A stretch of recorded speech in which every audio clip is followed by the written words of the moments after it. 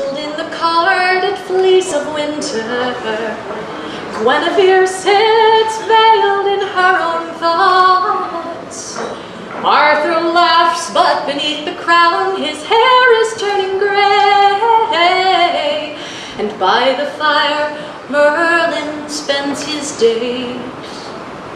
Portal opens and a maid as fair as apple blossoms enters in as all rise to their feet. These many knights stand in vain attempts to win her first attention. By the fire, Merlin sits and waits. Hawthorn tree, your body cold. Stand by me and shade me from the sun. My eyes are old, but still can see. Threading through as though they were the golden fields of summer. Maiden and sage meet within the light. I have come for your power and my name is Vivian. And by the fire for from that day no moment passed when they were not together.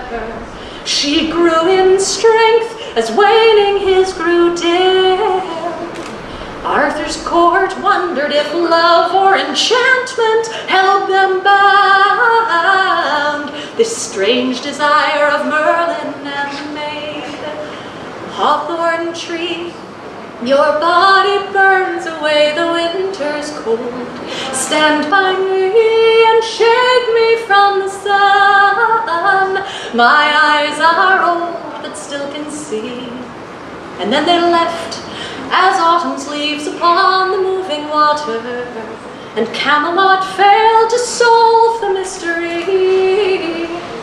So seasons passed, but then a woodsman came from distant Lyonesse, who knew the fate of Merlin and the maid, for he had seen a maiden fairer still than apple blossoms, and an elderly man walking hand in hand. They embraced, and when they parted, there was only Vivian, and one more tree was standing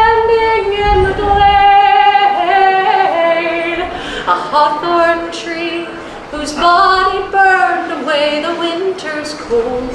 Stand by me and shade me from the sun. My eyes are old, still can see. His eyes are old, but they still will see.